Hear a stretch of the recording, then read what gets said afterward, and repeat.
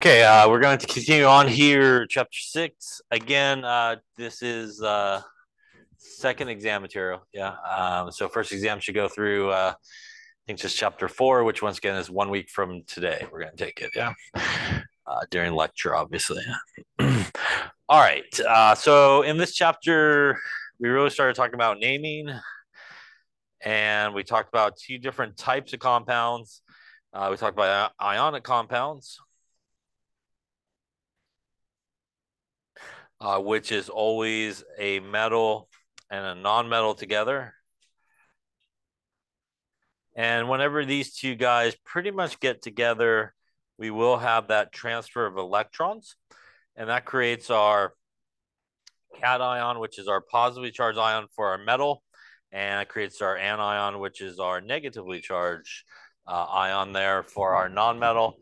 And the importance of this, again, as we talked about, is uh, there's really no sharing of electrons here. It's that electrostatic attraction. Our opposites attract that hold that together. No sharing. Let's go electrons. And we also talked about uh, covalent or molecular compounds. And those guys are usually between two nonmetals. And unlike ionic, it is all about sharing electrons. And as we'll talk about, uh, the sharing of electrons uh, may be equal or may be unequal. And really, the type of compound that you have uh, does affect the name. And you pretty much want to sort of start off by figuring out uh, what type of compound you got are you dealing with? Uh, do you have basically a metal and non-metal, which would be ionic, or do you have basically a couple of non-metals, which would be more of a covalent or molecular sort of compound? And ionic guys sort of fall under two types. They're sometimes classified as type one or type two ionic compounds. And I'm pretty sure I mentioned it last time, but pretty much whenever a metal is involved, uh, it's really the most important in terms of how you name things. You always look towards the metal uh, in terms of the proper way to name these guys. So whenever you got that metal involved, uh, you should always really look at the metal, and that's sort of where you should focus on. And in a type one compound, it is the metal has basically a fixed positive charge and those are are basically group one, uh, group two, group three aluminum, zinc, cadmium are silver, which are transition metals, but do have fixed charges. And type two is pretty much the same deal, except that the metal is most likely a varied positive charge. And usually that is going to be a transition metal. Are just to the right on the periodic table as we uh, talked about underneath the staircase where we have things like lead, which is PB, we have tin, which is SN. Uh, those guys, again, are not technically transition metals, but they do have a variable type of charge, uh, and they're named basically as type 2. Now, the big difference between these two is not a tremendous difference in terms of how we name it. Uh, if we have a type 1 compound, we basically just use the whole name of the metal and the non-metal we drop the last part of the name and we put IDE at the end of it. And remember, whenever we write an ionic compound that has both a positive and negative charged ion that's coming together, which is what an ionic compound is, uh, there's a couple things that we should always follow, and that is it is always the positive guy first, followed by the negative. So always the cation followed by the anion. And that goes for both the name and also the formula. Secondly, when we do write a formula for an ionic compound, it should never have a charge. So although it is made up of two things that do have charges, uh, you should always balance out the positive charge and the negative charge so that it equals zero. And again, the real reason for that, as we might touched upon uh, last time, is that allows everybody to really become a very stable sort of situation become like noble gases when you sort of get everybody to an equal charge of zero or an overall charge of zero when you put them together. So when we write something like NaCl, which would be a metal and a non-metal, and an example of a type 1 metal, which is sodium, because sodium is group number one. And the other thing we talked about, obviously, is everybody in group one is plus one, everybody in group two is plus two. Aluminum, for the most part, there in group three uh, is plus three. We then skip group four, we go to group five, and now we're talking about the non-metals on top of the staircase, upper part of the staircase, uh, above the staircase, I guess the way you say that. Uh, goes minus three, uh, minus two for group uh, six and minus one for group seven. So it's kind of like uh, one, two, three, skip and go backwards, three, two, one. Uh, remember that again, the transition metals have a varied charge except for three exceptions, which are these three exceptions that I listed. Zinc and cadmium are always plus two and silver is always plus one. So they are fall, they do fall under type one compounds, uh, even though again, they are um, transition metals. So this is a proper formula because the cation here, again, is sodium with a plus one charge. And the anion formula is Cl minus. And again, plus one and minus one will give us no charge when we put them together. So once we see that metal, we could go right into the name of the whole name and then IDE at the end of it. For type two, we pretty much do the same thing, except because the metal can have a varied charge, we do use the whole name of the metal.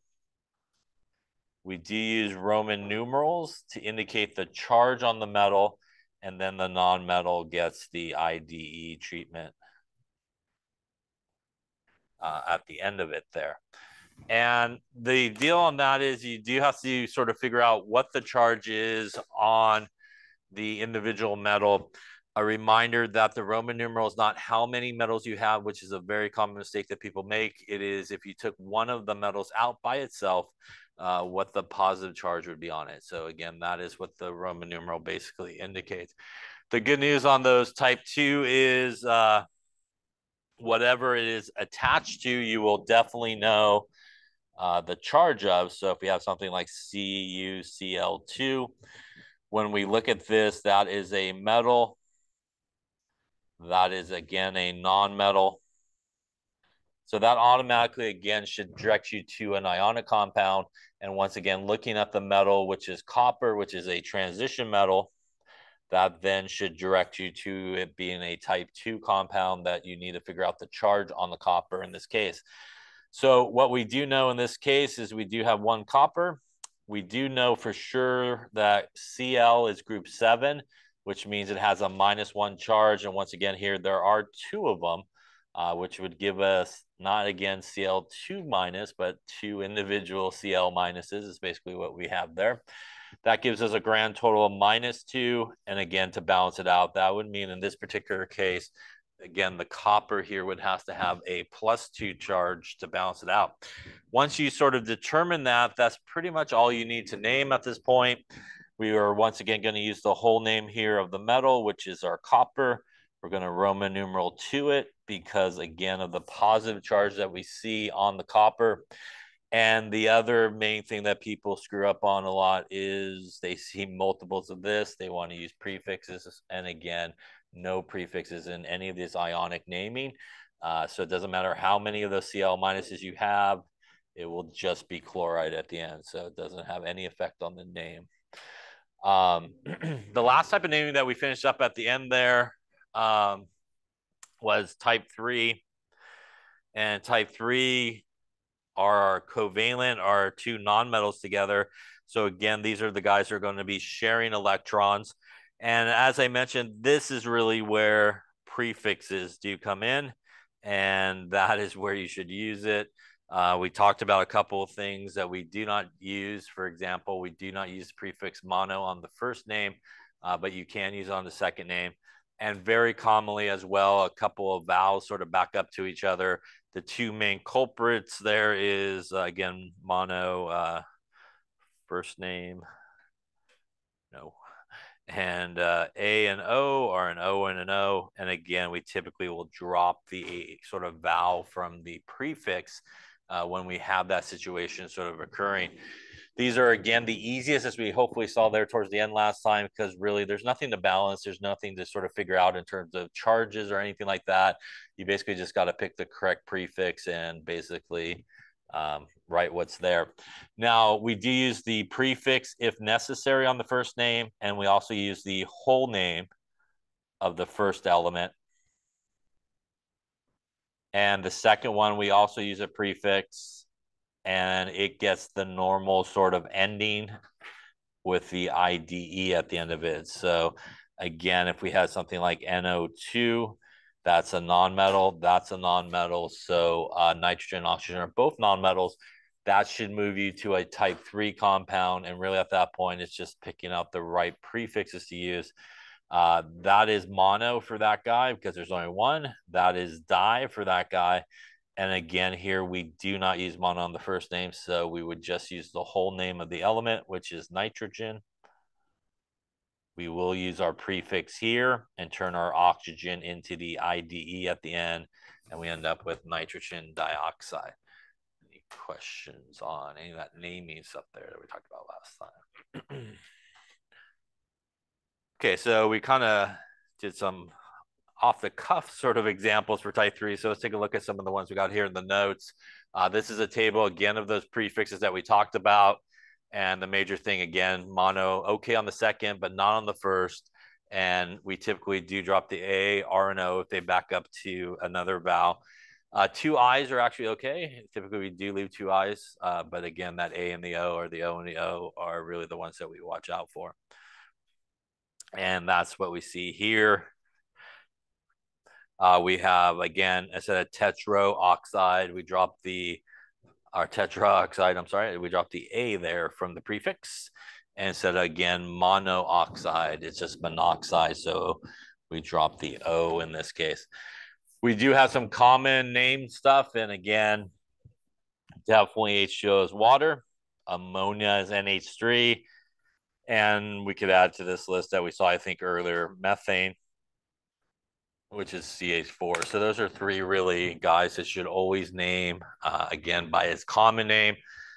No dihydrogen monoxide or anything like that. Again, for water, just put water in. As I may have said last time, move on with your life. Yeah, so it'll be all right. All right, so why don't you try some here, and see what you come up with. And let me give you some to write the formulas. I don't think we did these last time, so we'll do a few here. Let's do um, let's do carbon tetrachloride. Let's do oxygen.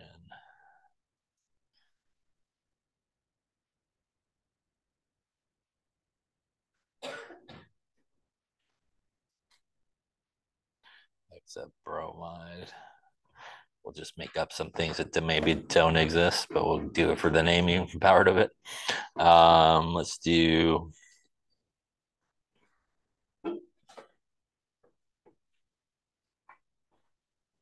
nitrogen trioxide. All right. So uh, names on the left there, proper formulas there on the right.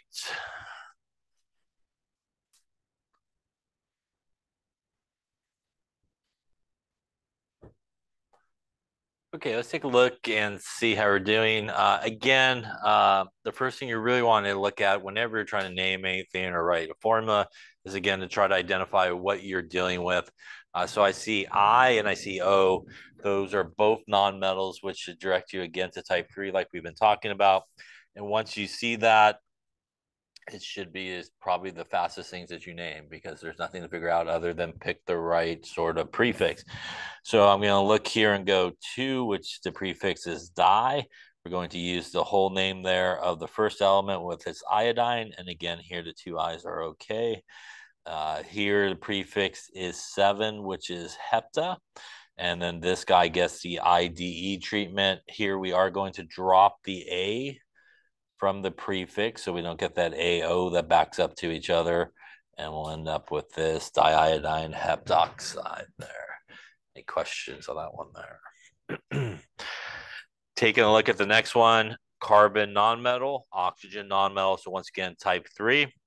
Uh, there is only one carbon, which means the prefix would be mono, but we do not use it on the first name, so we're just going to use carbon. Here we have two oxygens, so the prefix is going to be di, so that's going to be dioxide, so carbon dioxide on that one.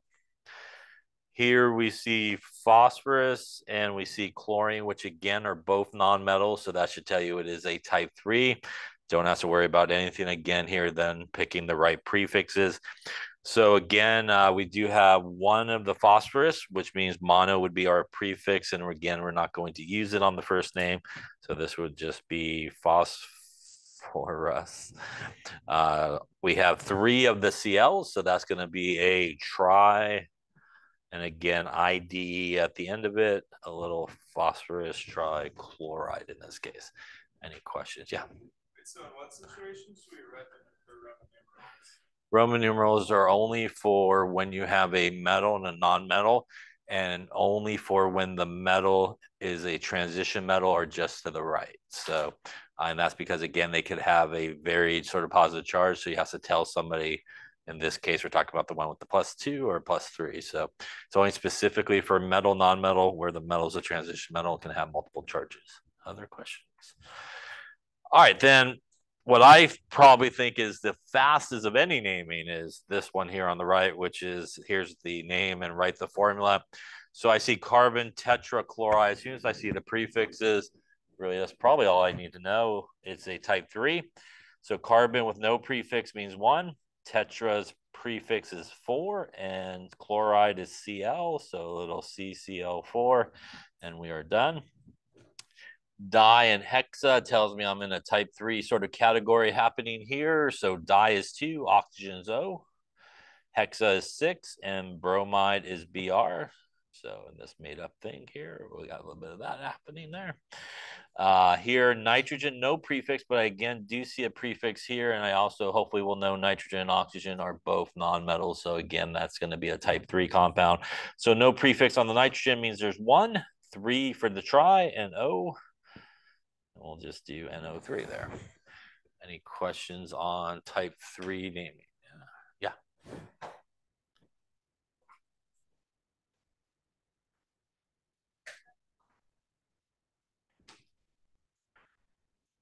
Yeah, so with type 3 specifically, you do um, you name it based on the formula. So whichever element comes first in the formula, that's the order at which you should name it. And same thing with the name, whichever sort of element comes first in the name is how you should put it into a formula. So it's always sort of whatever is written in that order for type three. Other questions? All right, so a review of those three that we just talked about, uh, type one, type two. Type one, metal, non-metal, no Roman numeral needed. Type two, metal, non-metal, Roman numeral needed because of the metal. Type three, no Roman numeral, only prefixes. They never cross over. So again, if you find yourself prefixing things and Roman numering, you probably should put some X's on it, yes, because it's probably going to be wrong. So never cross those things over. There's just a very rare, uh, rare spot where you could end up with a prefix and a Roman numeral, but it's because the actual substance has a prefix in its name, and we'll see it in just a second. But uh, other than that, really shouldn't cross over anything between those two. Here's a decision tree in case you need to make a decision. Uh, but pretty much if a metal is present, it's going to be one of those guys. And if there's no metal, you should go the type 3 route and use your prefixes. So let's talk about polyatomic ions to finish our naming extravaganza here. So polyatomic ions are ions, uh, but they are actually groups of nonmetals that actually share electrons. So they're kind of weird things. They are guys that actually share electrons. So polyatomic ions are actually nonmetals that are sharing electrons to be held together. But overall, because of how they're hooked together, they actually end up with a charge. So they're ions as well. And if we take something like this, NH4, NO3, we could actually break it right about there. And there's actually two polyatomic ions here. This guy right here is NH4 plus, and this guy right here is NO3 minus. This one nitrogen and four hydrogens, they are actually covalently bonded, sharing of electrons, and they never break apart into individual little guys by themselves. They move around as units, and the overall thing has a plus one charge. Same thing here with our NO3 minus. That one nitrogen and those three oxygens are sharing electrons together. They never break apart into the individual elements or anything like that. Uh, they basically move as a unit. We will see this in a bit here, but if you draw the Lewis structures for these guys, this guy, those guys are all sharing electrons and has an overall charge of plus one. This guy here, I'll give it the old college try, see how I do. There we go, a little bit of that. Looks something like this. Again, all those guys are sharing electrons, has a minus one charge. That is why when we put together both of those things, we're essentially still putting together something with a plus one charge and a minus one charge, even though there's a lot of stuff there. And that means when I take plus one and minus one, I get zero, which is what I want when I put it together, right? Anytime you put anything that is positive one and negative one together, you get an overall charge of zero. So that is why the formula here is basically one of each of these. Yeah. So it really is two things together. And that guy has a positive charge on the left there and a negative charge on the right. Now, these polyatomic ions have special names. This guy right here is what is known as the ammonium ion, not to be confused with ammonia, which is NH3, no charge. So NH3 that we just saw a second ago has no charge as ammonia this guy with a charge and an extra hydrogen is NH4 plus and does have a charge. This guy is our good friend nitrate. And polyatomic ions uh, have special names and formulas. And basically, when a polyatomic ion is involved, you just use the whole name. So in this case, this guy would be ammonium. And this guy's name is nitrate. So this would be ammonium nitrate. And you use the whole polyatomic ion. And by the way, much like a lot of things, doesn't matter how many you have of them, you just use the name. So if you had like two of the nitrates, it would just be called nitrate as well. Again, we don't impose any type of prefix or anything like that. Now, a majority of all polyatomic ions are pretty much negative and they pretty much have negative. They have a negative charge there, and that means that in most cases, there's very few sort of positive polyatomic ions. Ammonium is one of the few. Uh, there's a couple others, but what usually happens because polyatomic ions are negatively charged is they usually go find a metal and they're usually hooked up with a metal. So a lot of times when we're dealing with polyatomic ions, we oftentimes will fall back to our type 1 and type 2 rules, which means you oftentimes will find yourself with a metal and a polyatomic ion together. And as we mentioned earlier, whenever a metal is involved, it is the most important thing. So we would follow our same rules that we were talking about with type 1 and type 2, which means if the metal is a fixed positive charge, group 1, group 2, group 3, zinc, cadmium, or silver, you don't need a Roman numeral. So you just use the whole name of the metal and the whole name of the polyatomic ion.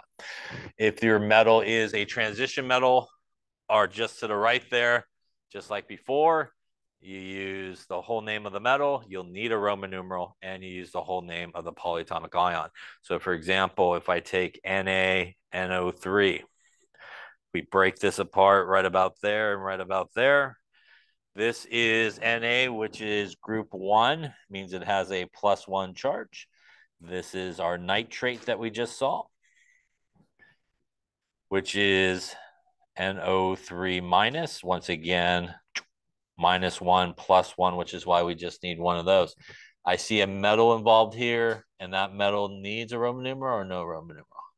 No Roman numeral because it has a fixed charge. So we would just name it like we did type one, sodium and once again, here we would use the whole name of the polyatomic ion. So nine times out of 10, maybe even more than that, uh, you probably will fall back to those type one, type two rules when you're dealing with polyatomic ions.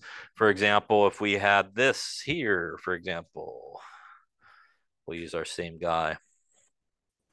Let's say we had this FeNO3. here, I'll put it up a little bit higher. We'll come up here. FeNO3. We have basically two things here. We have we have our iron, which is a metal, and we have our nitrate, which is our polyatomic ion. So the metal, once again, is the most important thing. And do I need a Roman numeral for iron? I do because it's a transition metal. So we would follow the same sort of pattern that we did before. All right. I don't know what the charge is, but once again, we do know that nitrate, as we can see here, is NO3 minus, right? And there's not just one of them, but there are three of them, right? And that would mean if we drew them all out, that's a grand total of how much negative charge? Negative three, which means my iron in this case should be positive three to balance it out. So we do the exact same thing we did with type one and type two, just the polyatomic ion is a little bit bigger. And we would name it the same way. So this would be iron, Roman numeral three, because of the charge on the metal. And although we do have three of the nitrates, it is still just nitrate.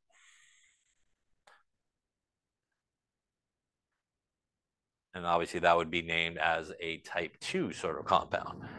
Question on that. Now, while we're looking at this, let's take a look at uh, the way I wrote it, the formula there. I wrote the formula like this with parentheses, as you could probably see. And the reason I need parentheses is if I wrote the formula like so, FeNO3, 3, 3. What does that imply? That I have 33 oxygens, which is clearly, if we look over here, not the case, right? I only got three, six, nine oxygens. So whenever you have more than one polyatomic ion, you got to put parentheses around the polyatomic ion and you need to put the number on the bottom that indicates how many of those you have. Otherwise, you have like way too many oxygens and not enough nitrogens in this particular case. Any questions on that? So that's something to keep in mind. If you do have more than one polyatomic ion, you got to put parentheses around them. Any questions on that so far? So here's a table of some polyatomic ions. In fact, I think there's three tables of polyatomic ions in case we get bored. All right. But uh, here's the bad news. It's just like stuff you got to learn. Yeah. So you got to learn the formulas and you have to learn the names and the charges. Otherwise, it makes it really hard to kind of put them together correctly. So um, there are ways that you can help yourself learn them. There are usually, when you look at polyatomic ions, groups of polyatomic ions that are really related to each other. Uh, so for example, we were just looking at our NO3 minus, which is nitrate ATE. And again, that is the three oxygens and one nitrogen together with minus one charge. There's also NO2 minus, which is one nitrogen and two oxygens. And that is known as nitrite, ITE. There's something like SO4 2 minus, that's four oxygens and one sulfur with a minus two charge. That is what is known as sulfate AT. There's also SO3 2 minus, which has three oxygens and one sulfur and minus two charge, which is sulfite. Now, the only difference between, say, these groups of two here they are both, in this case, has a minus one charge, right? The only difference is the number of oxygens. Yeah. So the one that has, for example, down here, this has the same minus two charge. The only difference is the number of oxygens, right? So in a group of two, the one that has the most oxygens usually will end in ate. ATE. So this guy has three oxygens, and this one has four oxygens in that group of two. So they end in ate. The one with the least amount of oxygens in a group of two that are related to each other ends in ite. Yeah. So you could think like you ate too much. Yes. That's the one with the most oxygens, is a way to remember that. Um, now, there are also groups of four that are related to each other And the most common group of four is this group of four right here. And that is ClO4 minus, ClO3 minus, C, C maybe, LO2 minus, and ClO minus. All four of those guys all have a minus one charge. And again, everything else stays together. This whole thing's all sharing electrons and stays together. The only difference between all four of those things is the number of what? Oxygens. So we could follow our same rule, basically. We could kind of break it right about there. And we know to the right are the ones that have the least number of oxygens, right? So they should end in ite, right? I-T-E. So for example here, let me just erase some of this. So I got somewhere to write that there. So if we look at the ones on the right, uh, this guy should be chlorite, I-T-E. This guy should be chlorite. Clearly, you cannot have the same name for two different things. So when you have a group of four that are related to each other, the one with the least number of oxygens in that group of four will end in ite and also start with hypo. So that is known as hypochlorite. And then we have chlorite in the guy to the left there. Now, if we go to the guys on the left-hand side here, those are the two that have the most oxygens, which means they should end in ate, A-T-E. So this guy here would be chlor ate. This guy here would be chlor ate. Once again, we can obviously not have the same name for two different things. So in a group of four, the one with the most oxygens will actually start with per in front of it. So that is perchlorate. So that is perchlorate, chlorate, chlorite, and hypochlorite, which is probably the most common group of four that you can come across. By the way, the Cl is a halogen. Yeah, could actually swap out that for any halogen you want, and they're named the same way. So let's just say I had not ClO3 minus, but BrO3 minus. What would this name be? Instead of chlorate, it would be bromate. Yeah, so it works the same way. Yeah. if you put in I in there, IO3 minus, it would be iodate. Yeah, so you could swap out that halogen in any of those four for any other halogen is they're basically named the same way. So how can this help you? Well, you could either, you know, bite the bullet and just remember everything, which I don't know, could work for some people, I suppose. But some people will remember all the ates, for example, what the ates formulas are and know that if you needed an ite, it's just frankly one oxygen less. Everything's the same, right?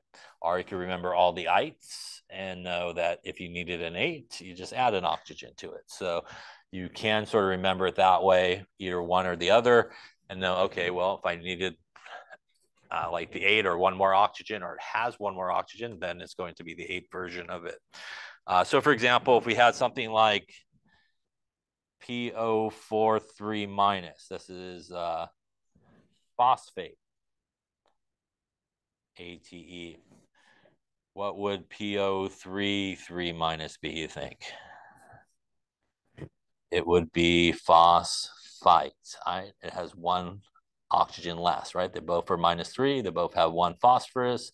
If I remember that this is phosphate and I have this guy that has one less, that means it's less than that. It should be the ITE and it becomes phosphite. So again, that's a good way to sort of uh, manage it. Um, there are a couple other things that you'll see on this table as I start scribbling through the table, but uh, we sometimes will put an H plus in front of something. And for example, if we had CO3 2 minus, that is carbonate. And if I put an H plus with it, it becomes HCO3 minus, which is basically H is what? Hydrogen. So this is what is known as hydrogen carbonate. Because frankly, I put an H in front of it. By the way, the charge changed because I added together minus two and plus one gives you minus one left over, right? So if you take uh, together, the charge, it will actually change. By the way, just confuse things. Unfortunately, this is very commonly also known as bicarbonate. In case you got heartburn, like you got right about now, yes, as bicarbonate, uh, which is very commonly still used. So if you see bicarbonate, it's the same thing as hydrogen carbonate, and those two are used very much commonly still.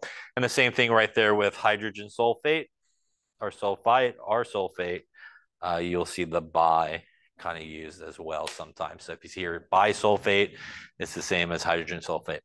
So a vast majority of these polyatomic ions will end in either ate or ite.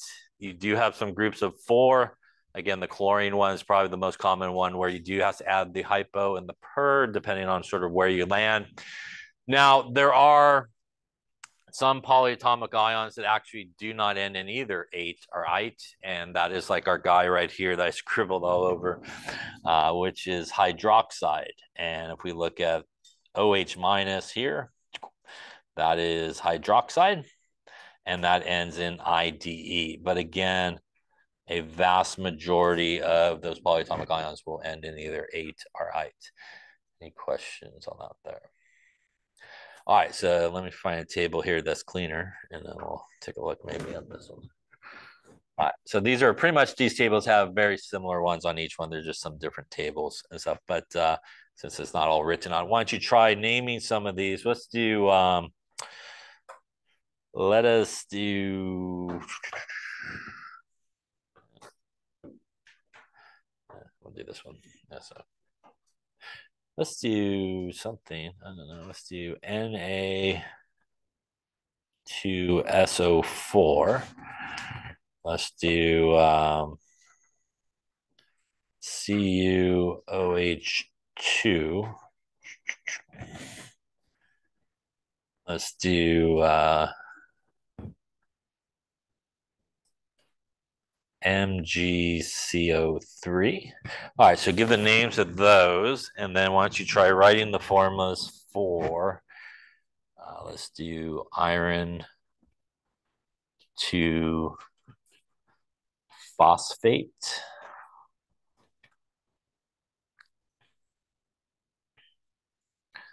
Potassium chlorite. And let's do ammonium sulfide. All right, so on the left there, proper formulas. On the now we'll start on the right hand side. Why not? All right, so uh, we're gonna start over here. Give some names. So again, same approach. We want to identify what we're dealing with, and I do see sodium, which is a metal. I see SO4, which at some point you will hopefully know is sulfate and that is a polyatomic ion.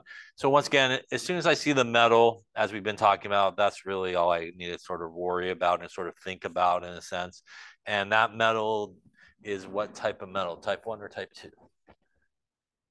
It is a type one metal. It has a fixed charge, right? So I do not need Roman numerals for that. So really at that point, I'm just going to write what's there.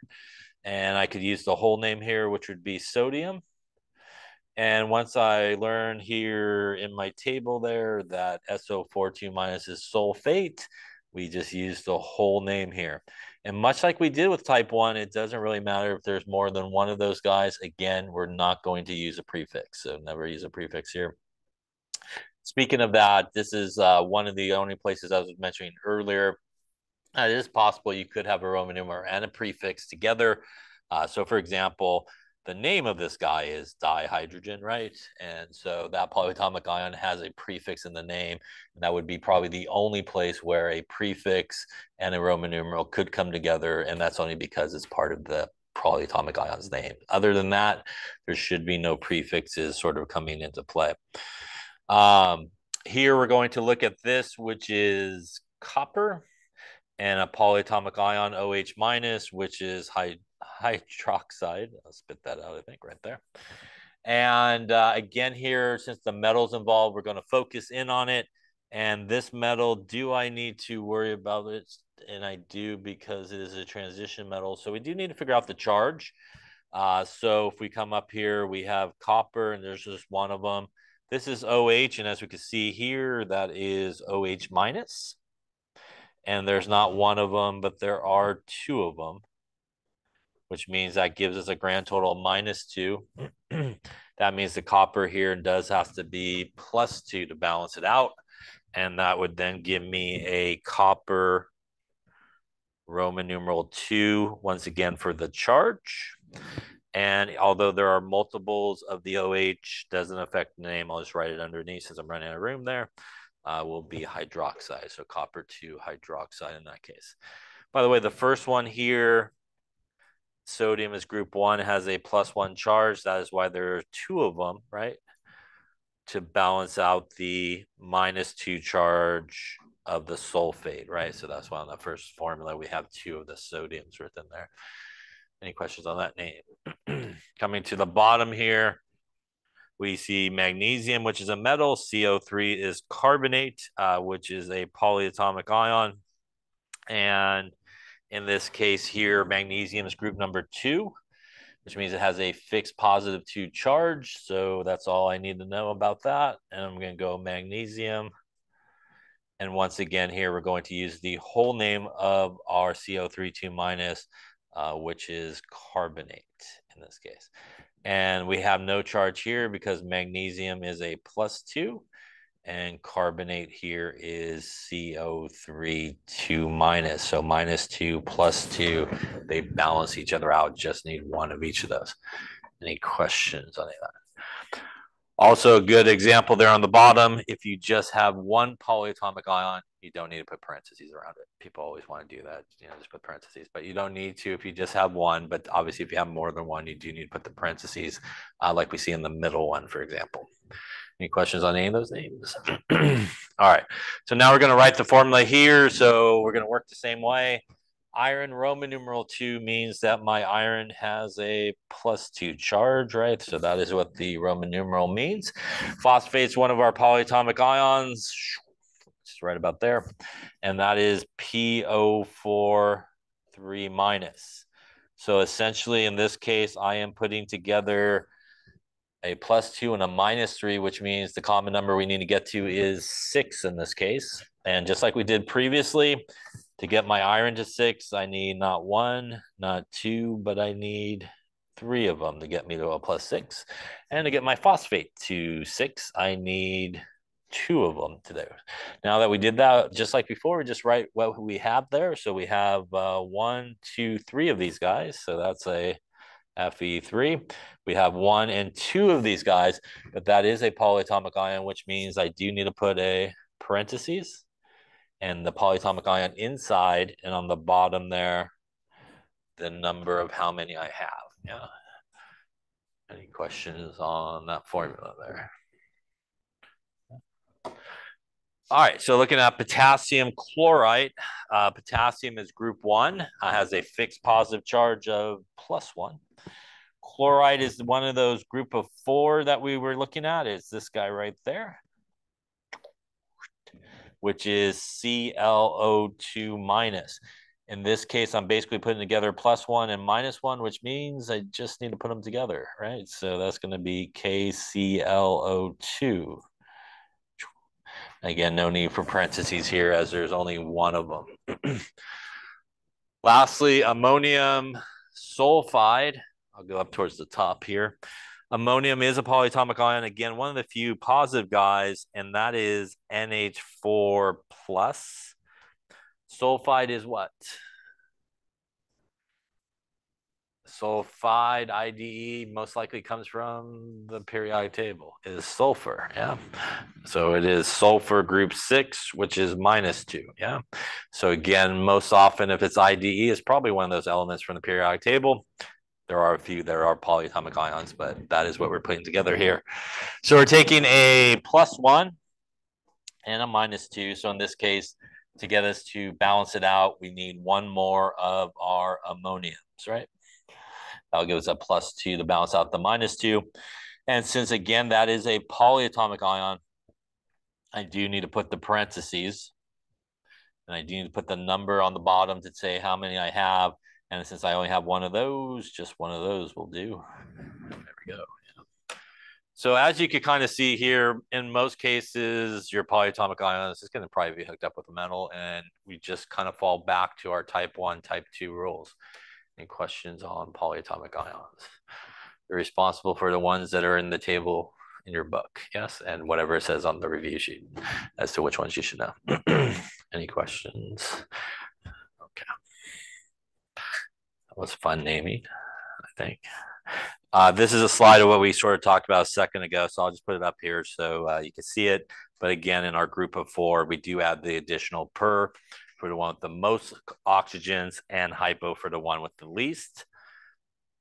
And then obviously uh, our hydrogen added in there, which is really H plus. This is why the charge changes as well. Again, hydrogen carbonate are sometimes referred to as bicarbonate as well.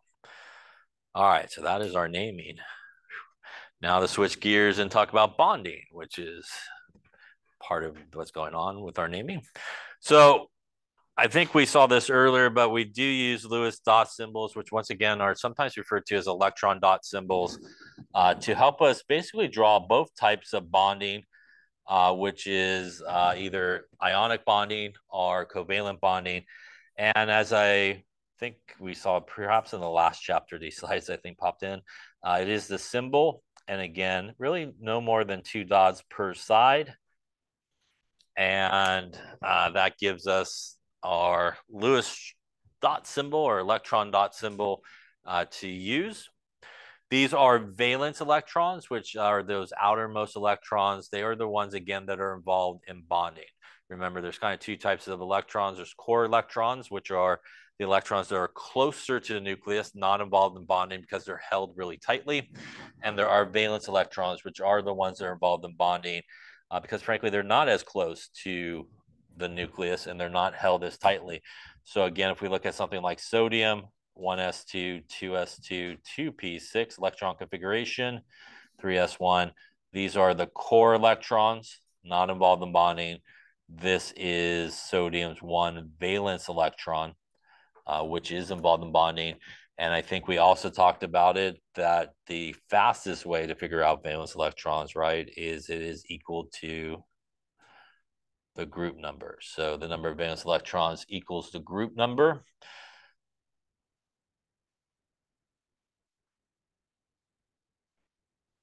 Except for our helium there, as I think we might also touched upon last time, Helium, again, although it is part of group eight, only has two total electrons, which means it can't have more than two. So it has two valence electrons, but everybody else in uh, group eight will have eight valence electrons. The good news is uh, we don't really deal too much in bonding with the uh, transition metals, so you don't have to worry about any of that type of stuff for those guys. So here's again uh, something I made when I was bored. Should get a hobby, but uh, this is again here's some Lewis dot symbols for all these things, and the goal really of all bonding, as I mentioned a number of times, and as we'll see as we go through this, is really for everybody again to achieve what's sometimes referred to as noble gas configuration, which means that they basically end up with the same sort of electron arrangement as a noble gas, which is our guys in group eight. And that's because noble gases are really stable, they're chemically inert, and that's sort of the goal of all bonding, both ionic bonding and also covalent bonding, where they share electrons. And that's why eight is like a magic number because eight gets pretty much everybody there to the noble gases. And also, as I might have mentioned the other day, hydrogen should only need to get to helium. And that's why hydrogen never, ever, one more time again, ever have more than two electrons to it. Uh, so don't put more than two electrons for hydrogen because uh, it will definitely be wrong.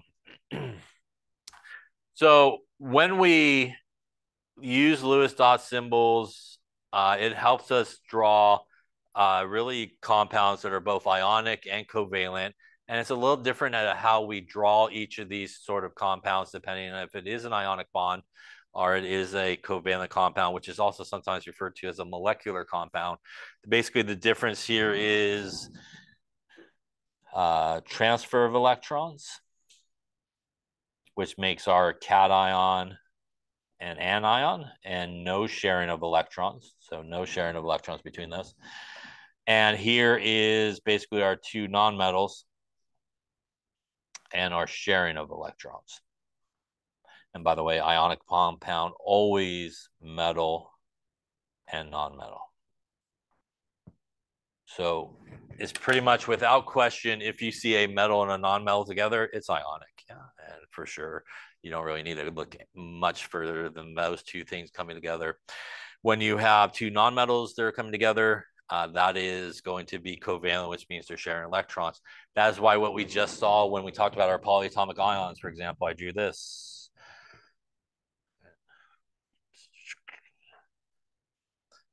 Hydrogen is a nonmetal, nitrogen is a nonmetal. They're going to share electrons, basically. And that's why those polyatomic ions, which are all nonmetals, actually do share electrons because they have the same sort of periodic trends where they both want to hang on to their electrons and not really give away their electrons. So they end up sharing. And again, in the case of polyatomic ions, they actually have just an overall charge because of that. General rule is things with low ionization energy will tend to make cations or positively charged ions. Things with negative electron affinities will tend to form anions. Ionization energy, again, is the energy required to remove an electron uh, which is basically when that happens, you become positively charged, which is what a cation is.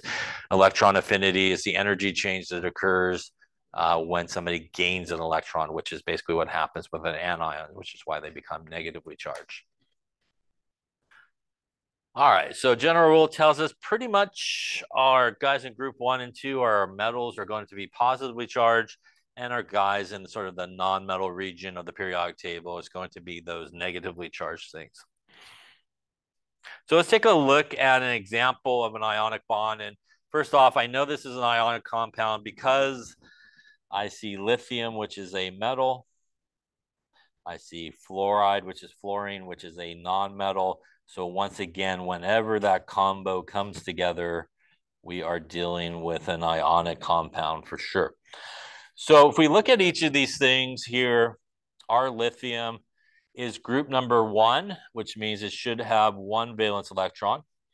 And by the way, it has an electron configuration of 1s2, 2s1, and this would be the one valence electron that we see there in the picture. Fluorine is group number seven, which means it should have seven valence electrons, and it has an electron configuration of 1s2, 2s2, 2p5 and it is these seven right here that are the dots that we see in terms of our configuration.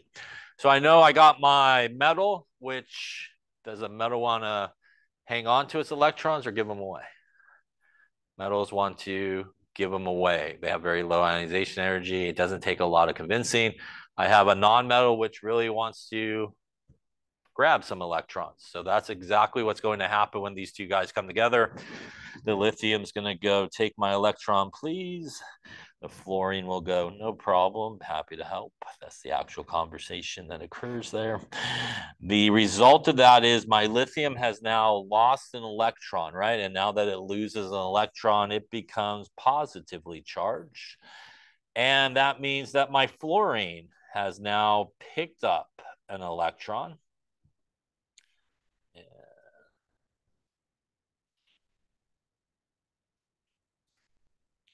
it a different color there.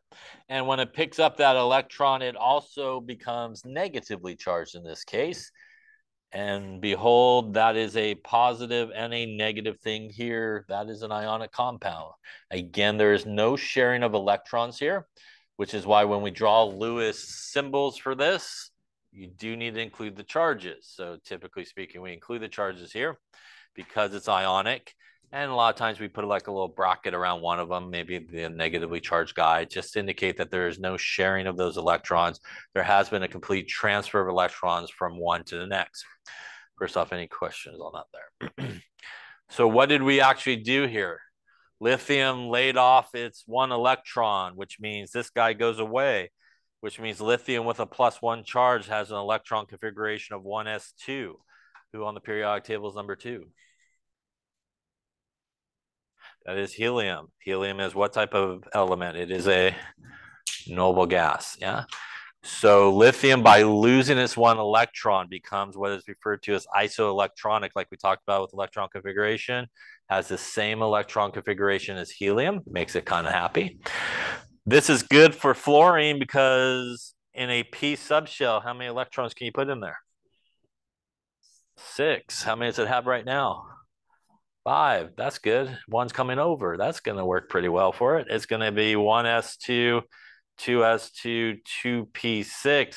That's grand total of how many electrons? 10 total electrons. And number 10 on the periodic table is neon. That is also what type of element? Noble gas, hence the goal of bonding. They both just became, by donating its electron and accepting its electron, they both achieve noble gas configuration, and that makes it a very stable sort of bond to occur. And again, that is really the whole purpose of bonding is for them to end up with the same electron configuration as those noble gases. Once again, they are not turning into those noble gases because why? Are they still lithium and fluorine on the other side? They are because the only way an element will change elements is to change which thing? Starts with a P. Protons, yeah? So no protons moving, just electrons. So they are still lithium and fluorine because they still have the same number of protons, but they are similar to a noble gas now in terms of how many electrons they have. And that is the goal of bonding. So sometimes people misunderstand that, that they think like lithium now becomes helium or, you know, fluorine now becomes neon. It doesn't. There's still those elements because there's no protons being touched anywhere here, but they're able to achieve the same electron configuration as noble gas. Question on that there.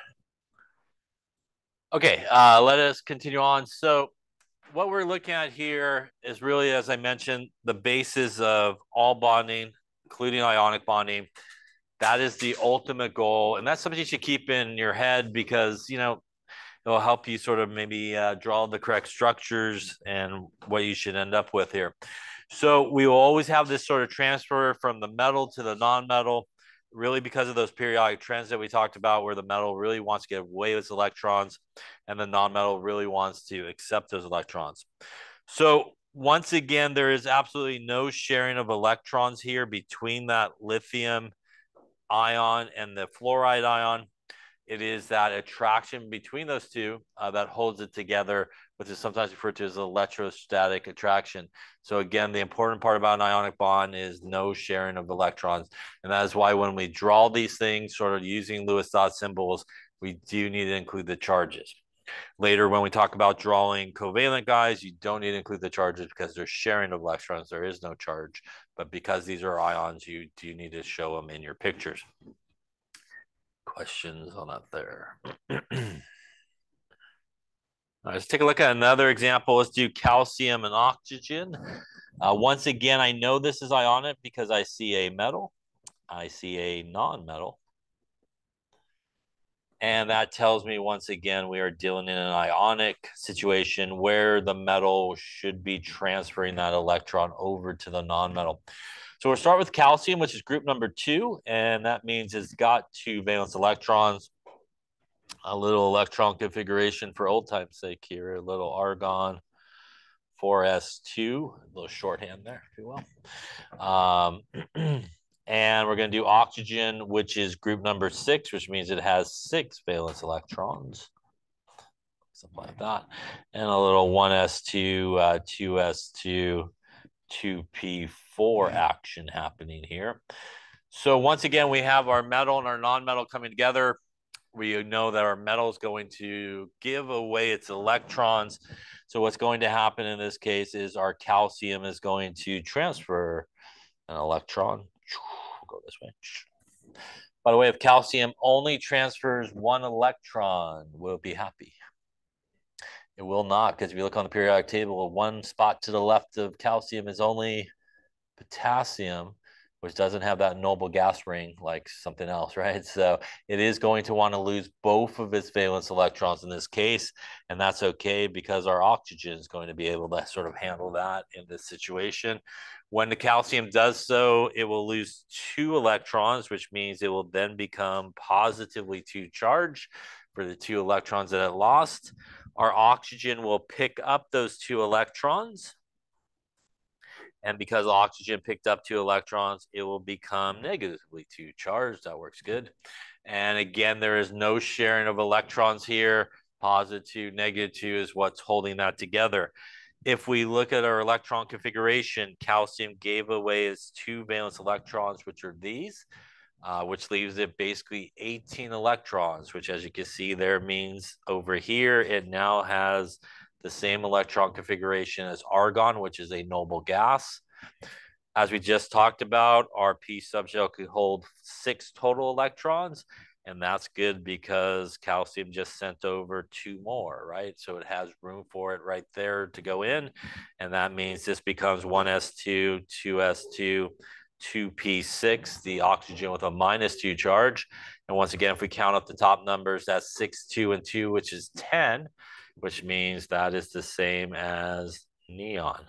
So once again, here we see that both calcium and oxygen, by gaining and losing electrons, are able to achieve noble gas configuration, making it, again, a, a very stable bond and a very stable sort of situation.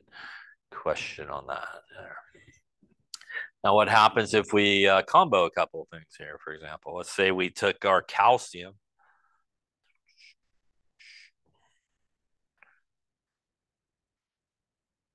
and we'll put it with our fluorine that we used earlier, which is 1s2, 2s2, 2p5 in this case. So again, we have a metal, which is calcium. We have fluorine, which is a non-metal. So we will expect the metal to transfer its electrons. So our calcium is going to transfer its electron over here to the fluorine. Can the fluorine take any more electrons? Cannot is kind of full at that point. And as we just talked about, calcium is not going to be happy laying off just one electron, right? So in this case, we actually need not one fluorine, but we need two fluorines. Second one could take care of the second electron. That will then give us calcium that was able to get rid of both of its electrons, one to each fluorine. And that will then give us not one, but two fluorines wherever you want to draw it. I'll just draw it over here on this side here, the other one. Now, in terms of this, what has happened is the calcium gave away both of these electrons, which means it was able to get to argon's configuration. Each of the fluorines was able to pick up one electron in that p subshell which got it to basically 1s2, 2s2, 2p6, our neon's configuration. And this guy was able to get to neon's configuration. All three of those guys were able to achieve noble gas configuration by gaining and losing electrons. First off, any questions on that? How does this tie into what we were just talking about? When I take an ion like calcium, and I take an ion like fluoride and I put them together, the overall charge needs to equal zero. That means I need two of those. That is the real reason why you need the overall charge to equal zero in the simplest way possible. Because when you put them together in the simplest way possible, the positive and the negative, what you're essentially doing is allowing each of those things to get to noble gas configuration. So that's why when we talk about naming and we have a positive guy and a negative guy, and we want to put them together in the simplest way to get to zero, it is basically because of the bonding aspect here. It allows everybody to reach noble gas configuration.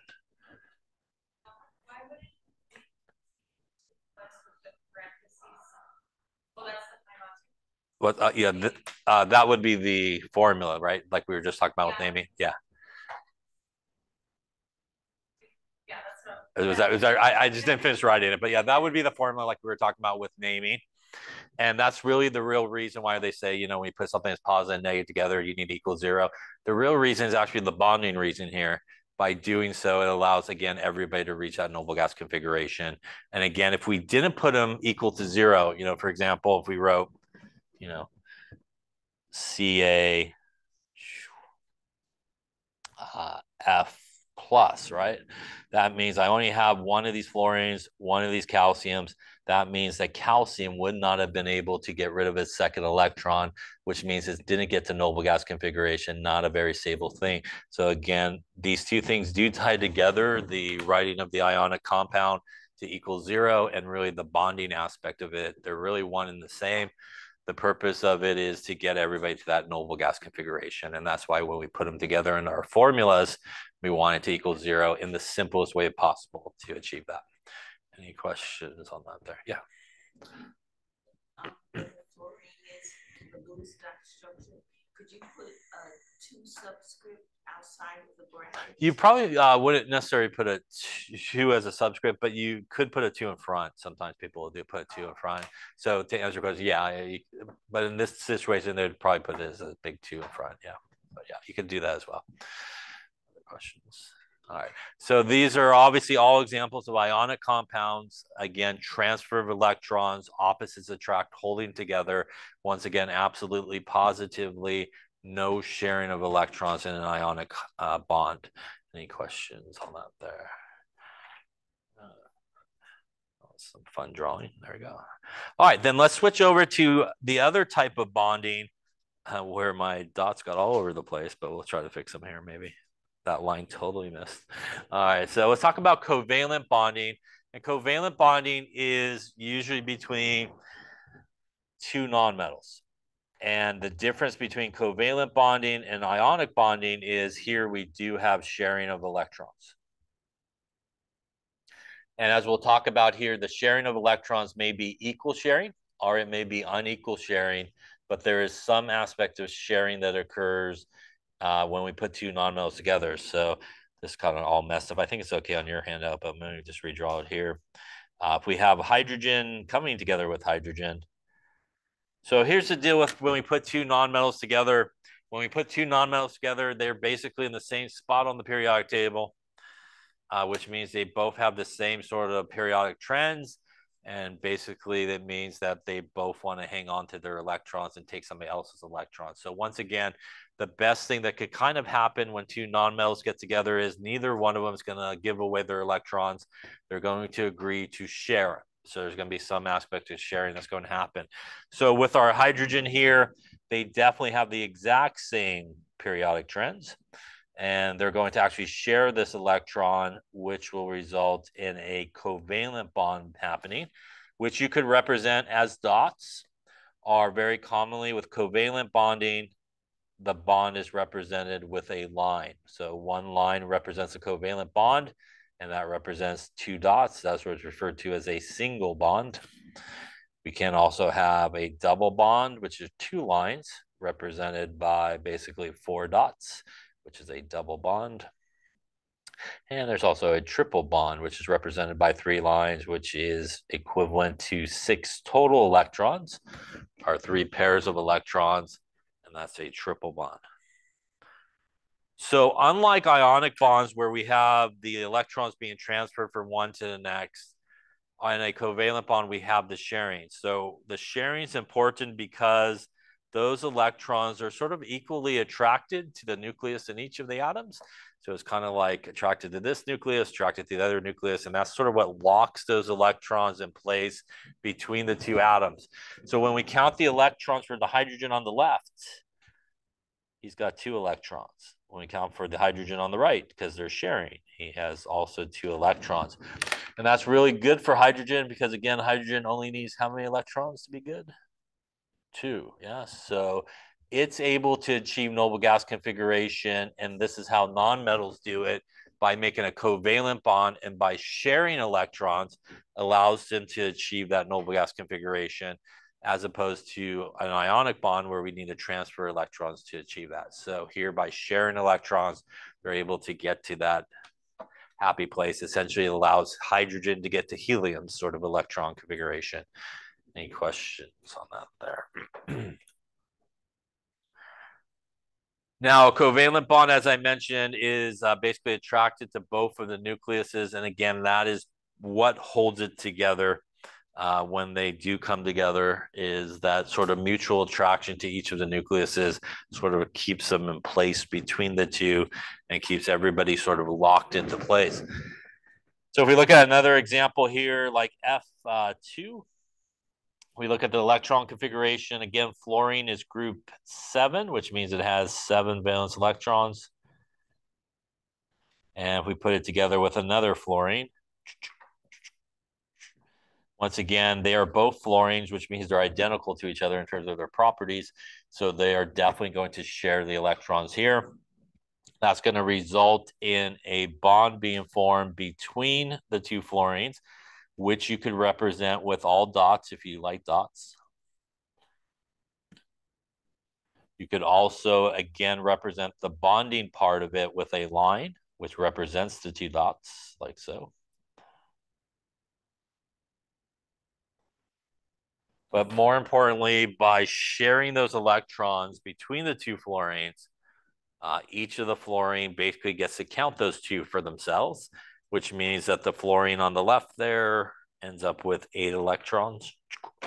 Fluorine on the right ends up with eight electrons. And again, eight is obviously the same as the noble gases on the periodic table. And hence the purpose of covalent bonding is we're going to get to that noble gas configuration by sharing electrons as opposed to transferring electrons. Any questions on that there? Go. So when we look at this sort of structure here, there are different types of electrons. Uh, there are all the dots, and when we look at the dots, they are not involved in bonding.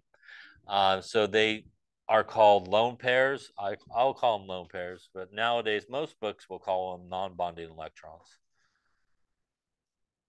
So if I say uh, lone pairs is the same thing as non-bonding electrons, they're basically the electrons that are not involved in a bond. So that would be all these guys that are dots would be our non-bonding electrons. We also have obviously some electrons that are involved in a bond, which are represented by the line here. And those guys also have a super creative name. Those are what are referred to as bonding electrons. Very creative there. That is bonding electrons. When you draw Lewis structures, you should always include all of the bonding electrons and all of the non-bonding electrons Non-bonding electrons are always showed as dots. Bonding electrons, it is your call. It could be shown as dots or lines. I personally use lines for bonding electrons, and a lot of people use lines for bonding electrons, but uh, it's not wrong to use dots for those as well. Uh, but definitely you should use dots for non-bonding electrons, so no lines for those it makes me think of a bad organic flashback when people use lines. So dots for non-bonding and uh, lines are dots for bonding electrons, which obviously are part of a bond between two atoms. Any questions on that there? so a Lewis structure, again, is a representation of covalent bonding where we use these Lewis dot symbols to represent them. It is also important to remember that again in these structures, it is just the valence electrons that are being shown. So all these atoms and elements, uh, all these atoms really have other electrons, those core electrons, but it is only those valence electrons, those highest energy electrons that are involved in bonding. So if we take a look at something like water and we draw the Lewis structure here for water, it looks something like this. And in this case, the oxygen, by sharing with both hydrogens, is able to get to the eight electrons.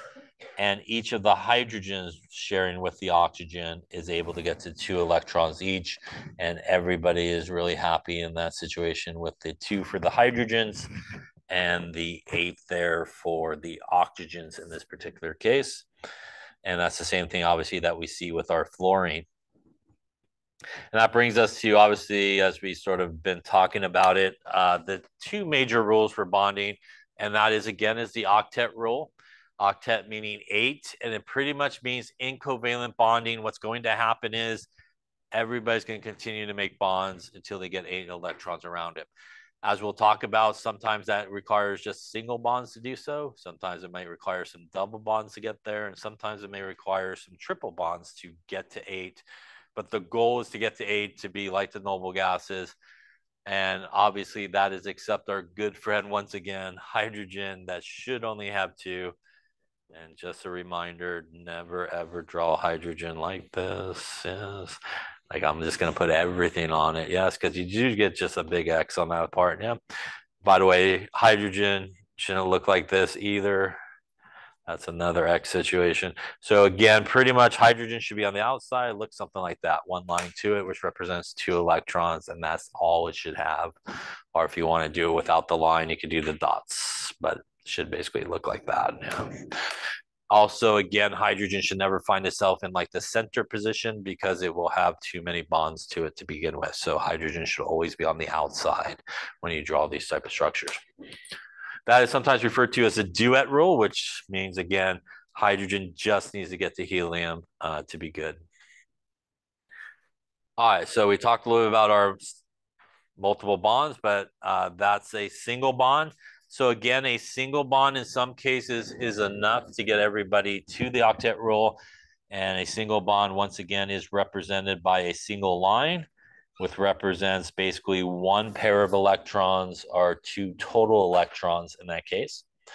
Now, sometimes like CO2 here uh, actually requires double bonds and actually requires two double bonds, one on each side uh, to get there. So our carbon dioxide actually has to double bond with oxygen on one side there to get to eight and also on the other side. So in this case, it actually needs to do a couple of double bonds here to get there. That gives the oxygens eight, and again, also gives carbon eight in the middle to do so. Without double bonding on both sides, in the case of carbon dioxide, it will not be able to achieve that octet rule and be happy. So it definitely needs to do that. A double bond, once again, is represented by uh, two lines most commonly, and that represents four total electrons are two pairs of electrons uh, in here. Now, in some cases, it does require a triple bond to get yourself to uh, that octet rule. And something like nitrogen, for example, are uh, C2H2 is an example of that. Here, the nitrogen, by sharing that triple bond, each of them ends up with eight. And in this case down here, our carbons on each of these end up with eight, and our hydrogens also end up with two in each of those cases. That makes it happy. Triple bond, once again, represented by three lines, are a total of six electrons are three pairs of electrons. By the way, if you draw a triple bond with just dots, you shouldn't just make them all in like one line. Yeah, so some type of stacking situation happening there if you draw them with dots. I will caution you that sometimes when people start drawing Lewis structures for covalent molecules, they want a double bond and triple bond right out of the box. Not a good idea. Yeah. So usually you want to save a double bond or a triple bond to try to fix something that's not correct. And so in most cases, you really don't want to be double bonding and triple bonding things out of the box. You really want to start with single bonds and kind of work your way to double bond or triple bond if necessary. And we'll talk about the proper order as to how to draw those things coming up. Uh, but just keep that in mind. Sometimes people just want to, I don't know, again, I think maybe they think more lines make it look more chemistry like or something like that. So you keep adding lines. So when we are sharing electrons in a covalent bond, how do we know how the electrons are going to be shared? And really the overwhelming thing that we look at when we're trying to determine between two atoms how the electrons are going to be shared is electronegativity. And that really is the ability of an atom to bring electrons towards itself. And I think we talked about it when we were talking about some periodic trends. And when you look on the periodic table, it increases as you go up and to the right, and it decreases as you go down. The most electronegative element we could have is fluorine, actually. And if you look at the periodic table, fluorine is as far to the right as you could go without hitting a noble gas, which is not really interested in bonding because they're noble gases. That's what everybody else wants to become like. So Electronegativity is really what we look at to determine how these electrons are going to be shared between one another. So for example, when we look at a bond between hydrogen and itself,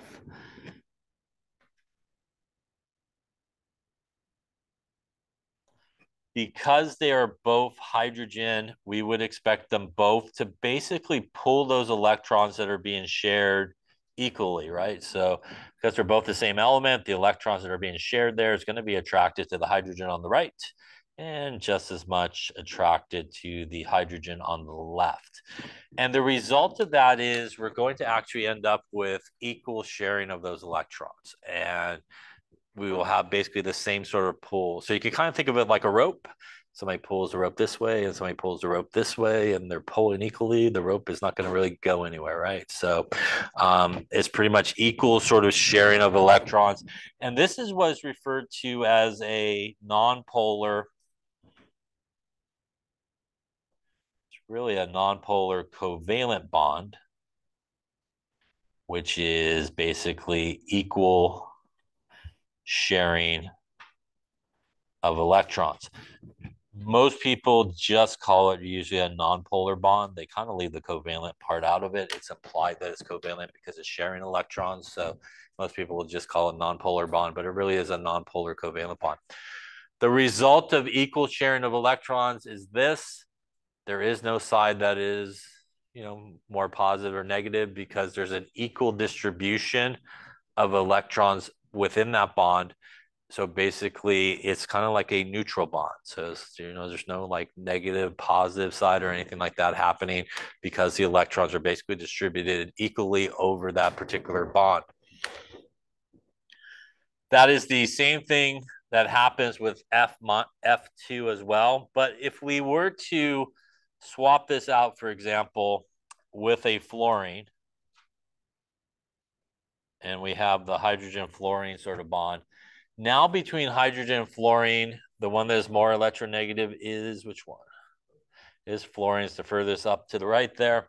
And now when those electrons are being shared, they're going to no longer be shared equally. They're going to be way more attracted if my just scribble here is the attraction of the electrons hanging out versus the electrons hanging out over there by the hydrogen. They're going to basically migrate towards the fluorine because it is more electronegative. The result of this is these electrons, unlike in H2, will no longer be shared equally.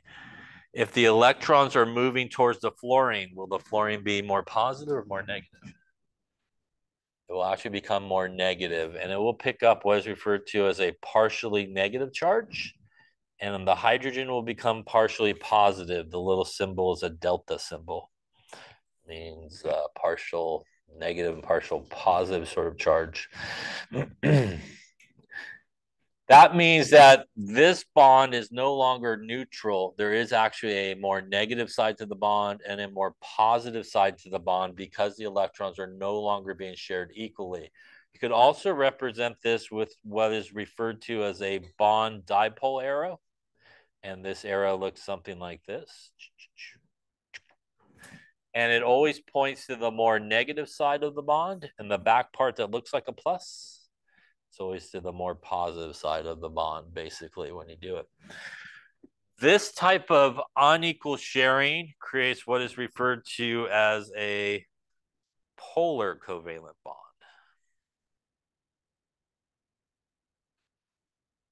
Or most people will just call it a polar bond. So a nonpolar bond and a polar bond are both covalent bonds. They are both bonds where electrons are being shared. The difference between it is in a nonpolar covalent bond or a nonpolar bond, we have equal sharing of electrons, which creates like a neutral situation. In a polar covalent bond or a polar bond, we have unequal sharing of electrons.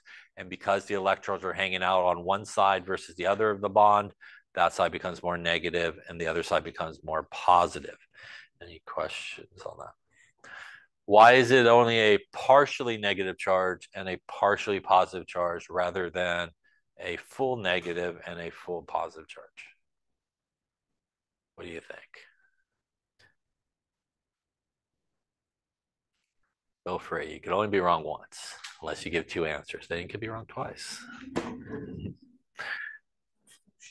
That's the absolutely right answer. So in this situation is the electrons are still being shared in this situation. They haven't fully transferred. We only see the electrons fully transferring when we have an ionic bond where it goes from the metal to the non-metal. And in that situation, the metal becomes fully positively charged. The non-metal becomes fully negatively charged because it has fully lost and gained electrons. In a polar bond, even though they are being shared unequally, there is still some aspect of sharing. So it's like, you know, the tug of war thing where somebody pulls the rope mm-hmm. mainly, and the poor guy's just kind of hanging on a little bit. He's still hanging on, right? He's still got the rope. And that's still the situation here. Those electrons are still hanging on between the two, but they're not being shared equally. And that's why we only get a partially positive charge and a partially negative charge because there is still that aspect of sharing. It hasn't reached the point where they will jump from one to the next which is what we see when a metal and a non-metal come together in an ionic bond. Any questions on that? so again, uh, as I mentioned, when we have something like HF, that is going to be our polar covalent bond, again, creating a separation of charge uh, based on really which one ever is more electronegative will bring those electrons towards itself. And again, we can represent it two ways. Very commonly, you will see this arrow, which is sometimes referred to as a bond dipole arrow. And again, uh, points to the more negative side, and this side is the more positive side.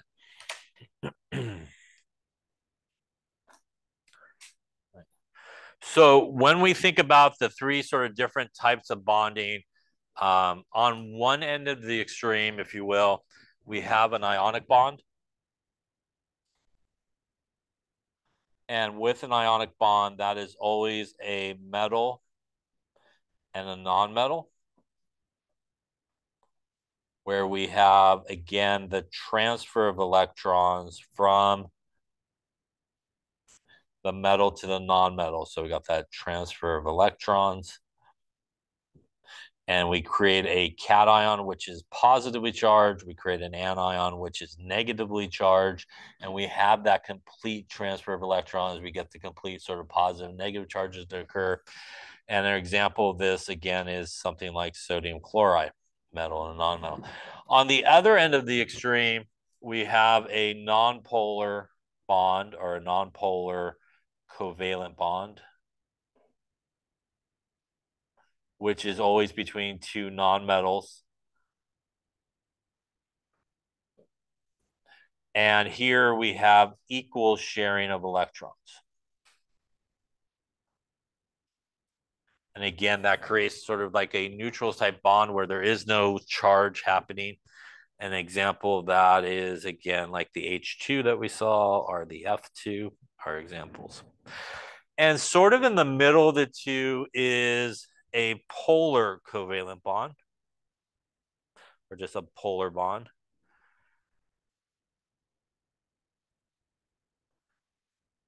which is two nonmetals together. And here we have unequal sharing of electrons.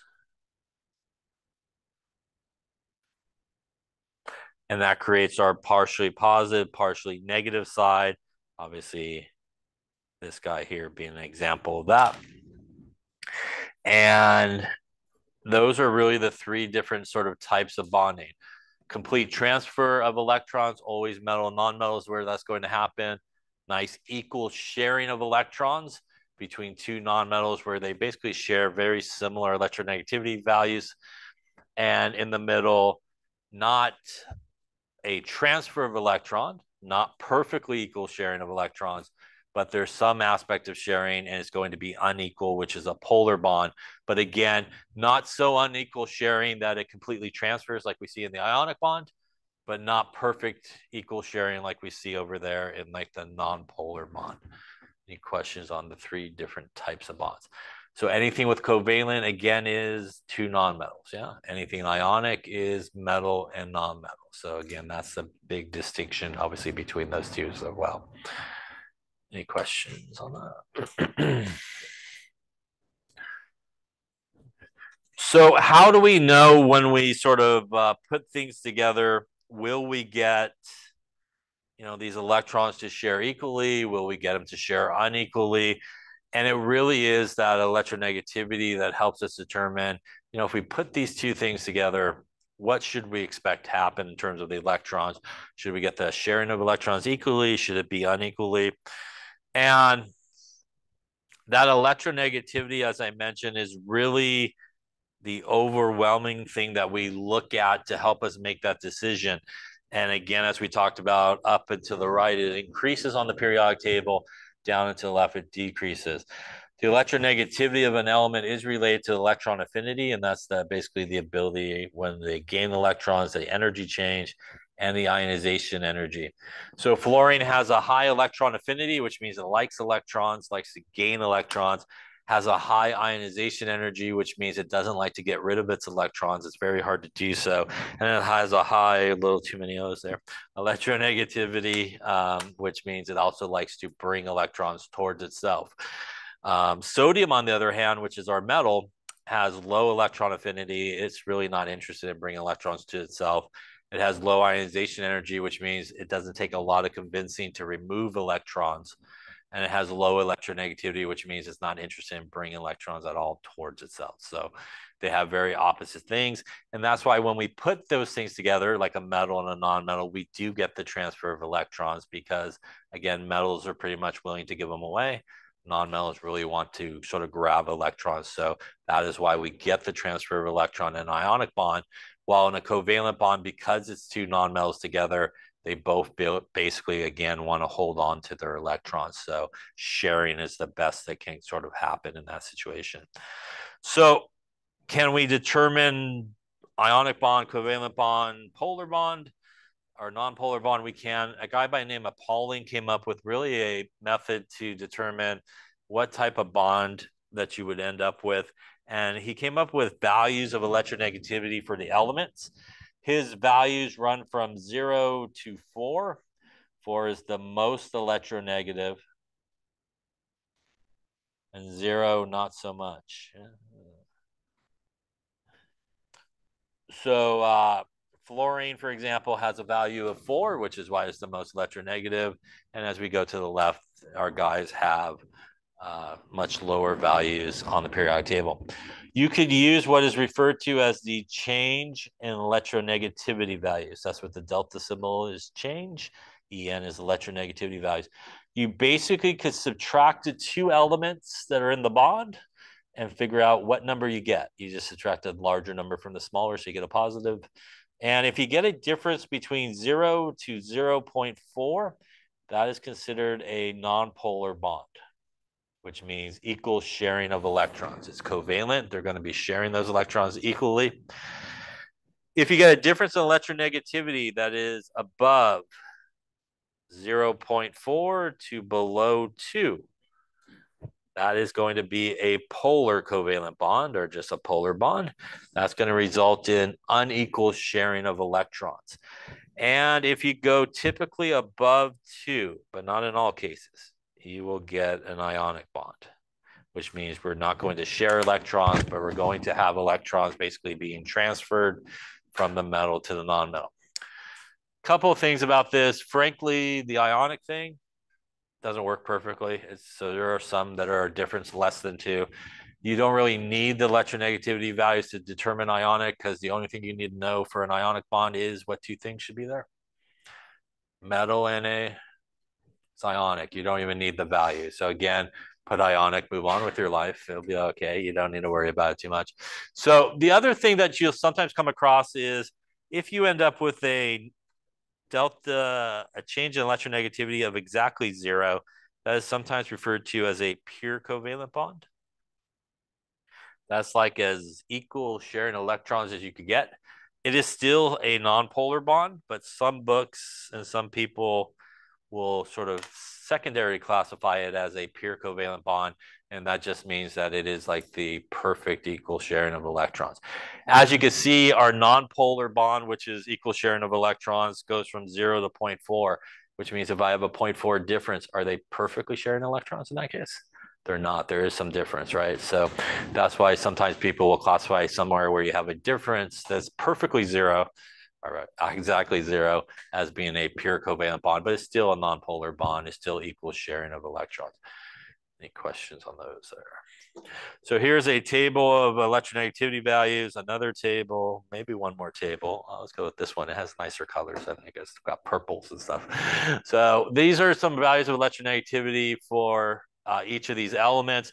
They obviously would be provided for you if you needed them. Um, but you can see as you go up and to the right, we got our number four up there. And as you come this way, it is obviously a lot less closer to zero, less electronegative. That's our metals on this side, non-metals up there.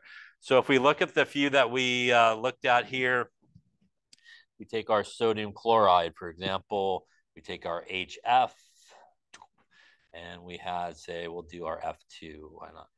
So if we were going to figure out sort of our, what type of bond we got going on here, once again, if it's anywhere from 0 to 0 0.4, going to be nonpolar. Anywhere from 0 0.5 really to below 2, going to be polar. And above 2 will be ionic. So if we take fluorine, for example, value is 4. So that is going to be 4 for this guy, 4 for this guy. The change in electronegativity would be 4 minus 4, which is 0. Difference of 0 means it is a non-polar bond, right? It's also a pure covalent bond, perfect equal sharing of electrons. In this case, we would expect it to be a non-polar bond between those two. If we look at hydrogen, which is uh, 2.1 from the table, and fluorine, which is 4, we take the difference in electronegativity. That is 4 minus 2.1. That's a lot of math there. And go with 1.9 on that. 1.9 is below 2, right? And that means that it is a polar bond, which is what we would expect it to be, with again the fluorine being more electronegative. And if we look at our sodium chloride, our sodium is 0.9. Our chlorine is uh, 3. That's going to give us a difference in electronegativity of 3 minus 0 0.9. Once again, just take the larger number minus the smaller. 2.1, that is above 2, which means it's ionic. Now, you can, again, get a difference where it's below 2, so you, you really don't need it. Um, you can see it's a metal, non-metal It's going to be ionic. You really don't even need the values in that case. That is how you use that table. Any questions on that? Why don't you try some here? Tell me, is the bond between these guys polar, nonpolar, or ionic? If you have a bond between carbon and oxygen, carbon and hydrogen, uh, let's do sulfur and oxygen. And let's do uh, carbon and sulfur. And let's do uh, Let's do potassium and chlorine. All right, so each of those calculates the difference in electronegativity values and determine is it ionic, polar, or non-polar. See what you come up with here. And that is going to give us a difference of one. And one would mean that it is, what's that bond? It is going to be a polar bond. Which one's more electronegative here? Is the oxygen, which means if we were to draw that arrow, it would actually point towards the oxygen, which is more negative in that side. That means oxygen here would be more negative in that bond, right? And the carbon would be more positive. If we look at carbon, which again is uh, 2.5, and hydrogen, which is 2.1, and if we take the difference there in electronegativity, just subtract it right there, that's going to give me a 0.4 difference. 0.4 is a nonpolar bond. That is why the cutoff is, is actually at 0.4 because of carbon hydrogen. Pretty much all organic molecules contain carbons and hydrogens, and they're nonpolar. And that's why the cutoff actually goes up to 0.4 for that. So we would expect equal sharing of electrons here. Um, so there would technically be no side that's more positive or negative. It would be kind of a neutral sort of bond in that sense. If we go to carbon and We'll go sulfur and oxygen. Sulfur is uh, 2.5. Oxygen is 3.5. Again, the difference here in electronegativity ends up being 3.5 minus 2.5, which is 1, which once again means this should be polar bond. The more electronegative being the oxygen, so it would point there. We do not draw lines for nonpolar bonds because there is no negative or positive side. So that line is only, our arrow is really only drawn for things that are polar. Uh, if we do our potassium, which is 0.8, our chlorine, which is 3, difference in electronegativity is 3 minus 0.8, 2.2. Yeah, that's going to be ionic really didn't need this because that is a metal and that is a non-metal so we know it's ionic anyways without it.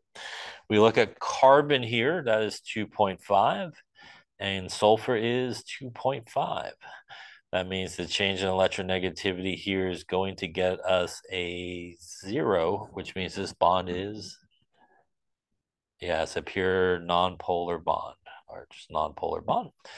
This is a good demonstration that for sure you can have uh, two elements that obviously two bonds, two atoms that are the same element will share the electrons equally and be nonpolar. But you could also have two atoms that are different elements that can share it. And that's because of the relationship on the periodic table is what's sometimes referred to as a diagonal relationship. Carbon is further up, but sulfur is further to the right. They cancel out their differences and they end up as 2.5 each. We also see that with nitrogen and chlorine. So it's not directly diagonal, it's kind of down and over one is the relationship. Yeah. We, we don't because there's no sharing of electrons. And that's really what that bond represents is uh, a polar covalent bond, which means there's sharing of electrons.